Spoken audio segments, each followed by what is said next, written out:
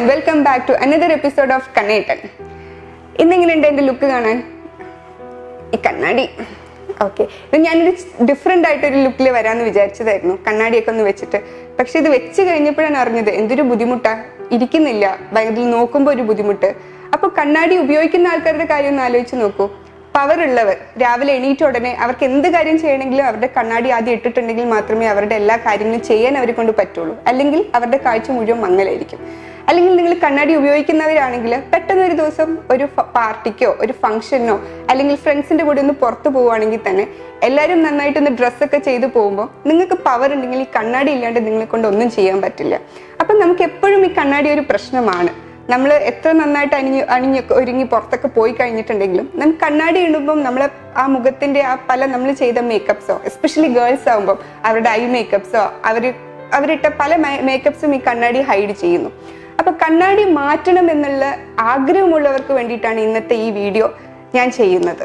So ഇന്ന് നമുക്ക് കണ്ണാടി എങ്ങനെ ഒഴിവാക്കാം? നമുക്കതിനൊരു ട്രീറ്റ്മെന്റ് ഉണ്ട്. ലാസ്റ്റിക് സർജറിയിലൂടെ നമുക്ക് കണ്ണാടി പൂർണമായും ഒഴിവാക്കാവുന്നതാണ്. അപ്പോൾ ഏതൊരു നോർമൽ പേഴ്സണെ പോലെ തന്നെയും കണ്ണാടി ഇല്ലാണ്ട് നമുക്ക് എല്ലാ കാഴ്ചയും നല്ല നല്ല നല്ല രീതിയിൽ തന്നെ കാണാൻ പറ്റുന്നതാണ്.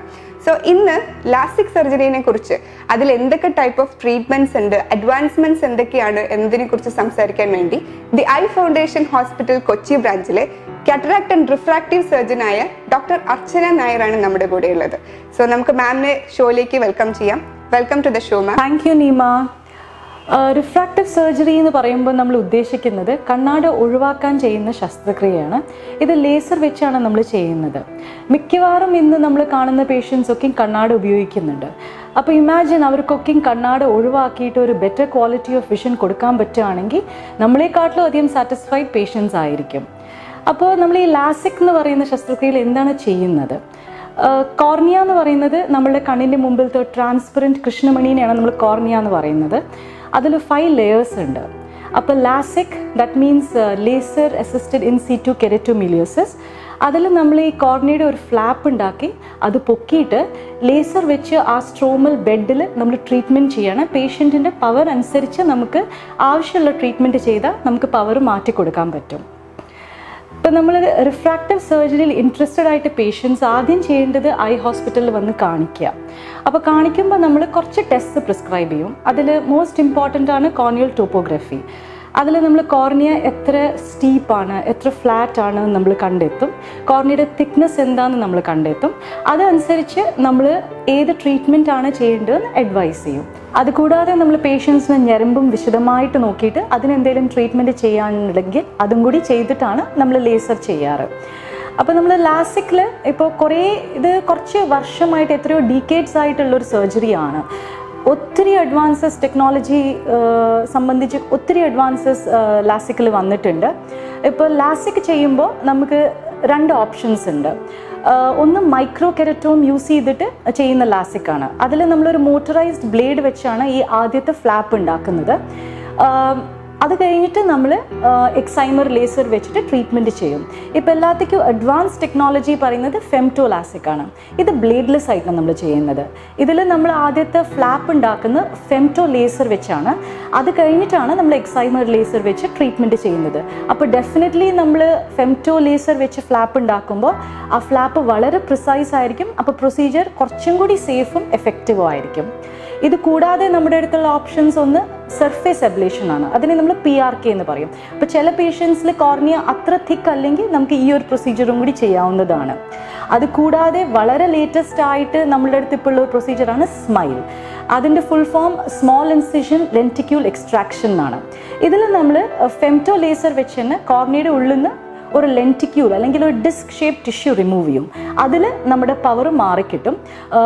ഇതിൽ നമ്മൾ വലിയൊരു ഫ്ലാപ്പ് ഉണ്ടാക്കുന്നില്ല. വളരെ ചെറിയ ഇൻസിഷൻ കൂടിയാണ് നമ്മൾ ആ ലെന്റിക്യൂൾ പുറത്തേക്ക് എടുക്കുന്നത്. അപ്പോൾ ആ ഒരു അഡ്വാന്റേജ് ഇതിലുണ്ട്. അതുകൂടാതെ ചില പേഷ്യൻസിൽ നമുക്ക് ഇതൊന്നും ചെയ്യാൻ പറ്റില്ല. കാരണം അവരുടെ കോർണിയ വളരെ തിന്നായിരിക്കും അല്ലെങ്കിൽ അവരുടെ പല അവരുടെ പവർ വളരെ കൂടുതലായിരിക്കും ലൈക്ക് മൈനസ് ട്വന്റി ഡയപ്റ്റേഴ്സ് ഒക്കെ. അങ്ങനത്തെ പേഷ്യൻസിൽ നമ്മുടെ അടുത്തുള്ള ഓപ്ഷൻസ് ആണ് ഫേക്കിക് ഇൻട്രോക്കുലർ ലെൻസ് ഇതിൽ നമ്മൾ കൃഷ്ണമണിനെ തൊടാറില്ല. നമ്മൾ കണ്ണിന്റെ ഉള്ളിൽ ഒരു ലെൻസ് ഇംപ്ലാന്റ് ചെയ്തിട്ടാണ് അവരുടെ പവർ മാറ്റി കൊടുക്കുന്നത് പിന്നെ ചില പേരിൽ കൃഷ്ണമണി ഒത്തിരി കൂർത്തിട്ടുള്ള ഒരു അസുഖം ഉണ്ടാവും അതിനെ കെരറ്റോകോണസ് എന്ന് പറയും. അങ്ങനത്തെ പേഷ്യൻസിന് നമുക്ക് ഈ ലേസർ ഒന്നും ചെയ്യാൻ പറ്റില്ല. നമുക്ക് ക്വാളിറ്റി ഓഫ് വിഷൻ ഇമ്പ്രൂവ് ആക്കാൻ. അതിൽ നമുക്ക് കോർണിയുടെ ഉള്ളിൽ ചില റിംഗ് സെഗ്മെന്റ്സ് ഇംപ്ലാന്റ് ചെയ്യാൻ പറ്റും. അതിനെ നമ്മൾ ഇൻടാക്സ് എന്നാണ് പറയാം. അപ്പോൾ ഈ ഒക്കെ ഓപ്ഷൻ നമ്മുടെ അടുത്ത് നിരവധി ഓപ്ഷൻസ് ഉണ്ട്. എല്ലാ പേഷ്യൻസിനും ആർക്കും റിഫ്രാക്റ്റീവ് സർജറി ചെയ്യാൻ താല്പര്യമുള്ള എല്ലാവർക്കും. അപ്പോൾ അങ്ങനത്തെ മോട്ടിവേറ്റഡ് ആയിട്ട് പേഷ്യൻസ് ഡെഫിനറ്റ്ലി പേടിക്കേണ്ട ആവശ്യമില്ല.